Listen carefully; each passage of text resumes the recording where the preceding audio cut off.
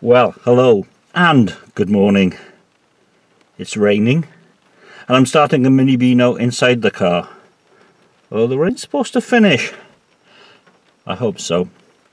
Anyway, um, it's Saturday the 13th of May 2017.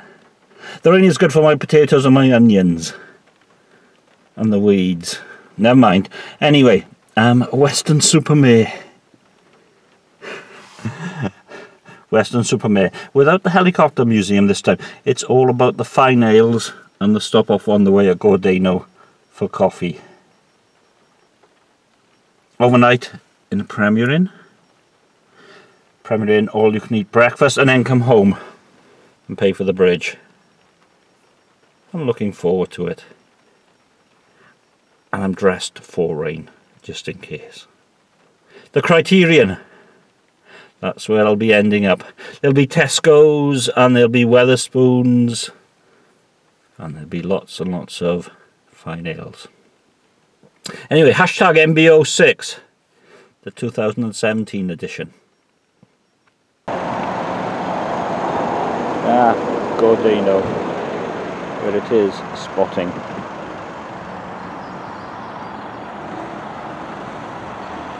And they have coffee which is nice. Hmm. Different to the last time I was here, packed out. I think that was July 2016. Well, this is seaside-ish. That's my car park. I'm parked somewhere over there.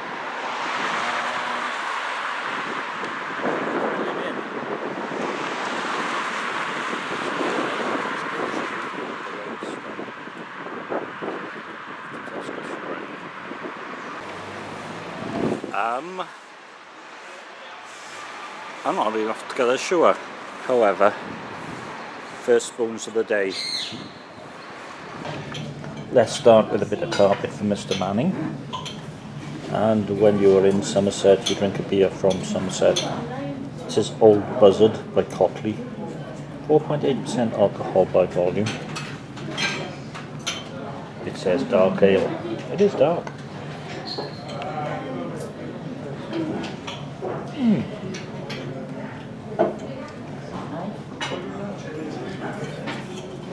I'd put it down as a fruity mild. It's interesting. B plus. Good enough start to the day.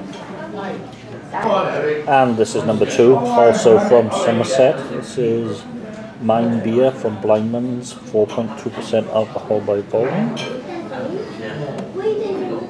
£2.15 a pint, which isn't bad. Hmm. That's sort of fruity in a non-citrusy sort of way.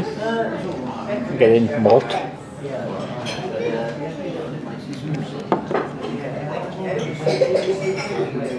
Slightly malty and bitter finish. I'm thinking B plus. Yeah.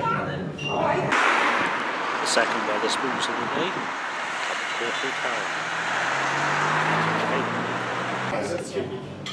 Lovely bit of carpet, Mr. Manning. And I can see the pier over that way.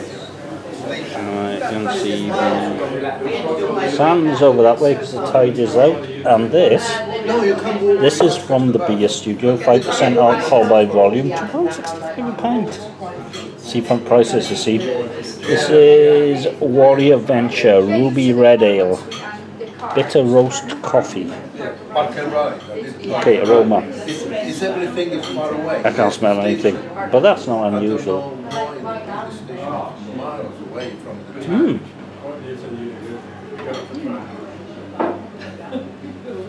Aroma roast coffee. Hmm.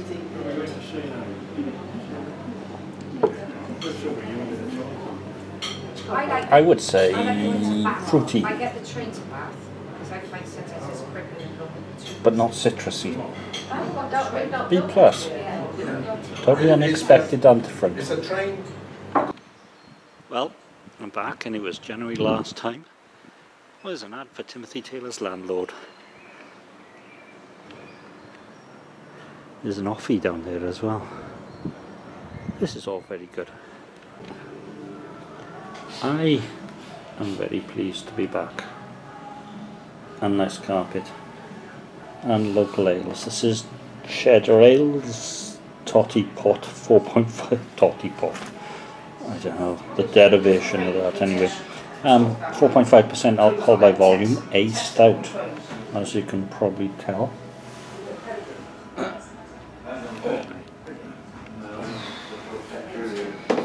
And five to the cabinet speeds, almost symmetrical either. Either. Mm. Burnt notes, bitterness.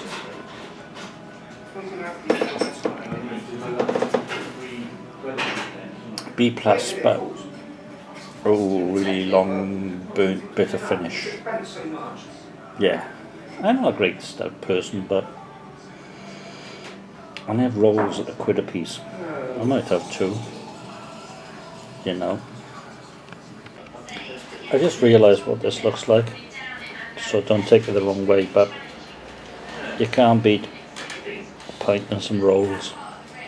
This is Amber by Otter, 4% alcohol by volume.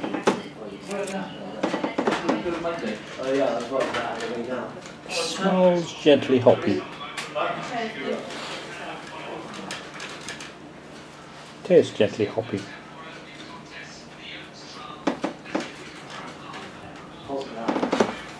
B plus. Gently slipping away. And this will be my last. This is big job, big job. Yeah. Bicycle still from Cornwall, 7.2% alcohol by volume. A double IPA. Is it a double IPA in the accepted? Oh, I don't know.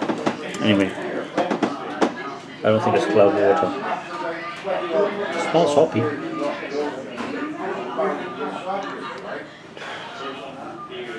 Hugely hoppy. But not a Cloudwater double IPA. I like it though, B plus in a bit.